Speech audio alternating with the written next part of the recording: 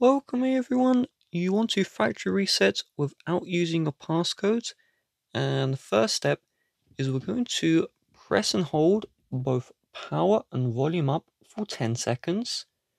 We're then going to release power and volume up. And we're going to press and hold power and volume down.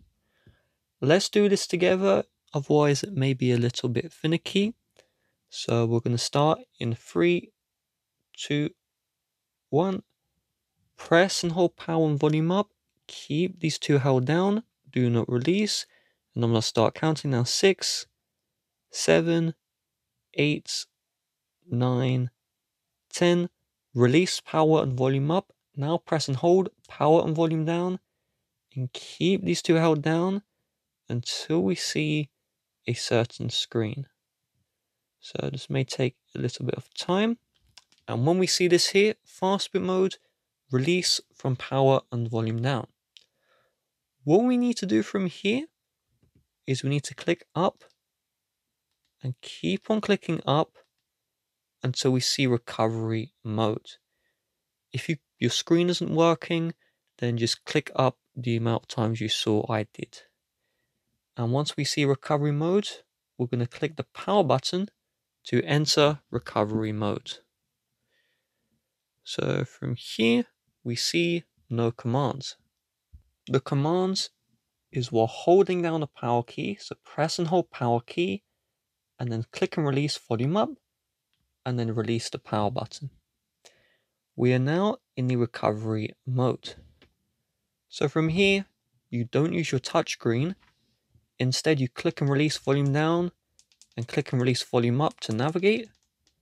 And then you click the power button to select. So what we're going to do is we're going to click volume down and then it's going to keep on clicking until we see wipe data slash factory reset. And then we're going to click the power button. And then we're going to click volume down and you see factory data reset. Click and release the power button and now you can see the data is going to start wiping. So we're going to patiently wait for the data to wipe. You can see data wipe has been completed. And now we need to click and release the power button to reboot system now. So after the reboot, you're going to see the Google is going to do the factory reset process. And once this is done, you'll be brought to the hello screen. But please keep in mind, if there was a Google account stored on this phone, you will need to re-enter in the login information for that Google account, otherwise you'll be locked out. This is just to prevent people who, you know, steal a Google phone from the street from, you know, using the stolen phone. So you have to have owned this phone, otherwise you'll be locked out for good. With that being said, if you would like to help support the channel, please do check the description. Bye bye.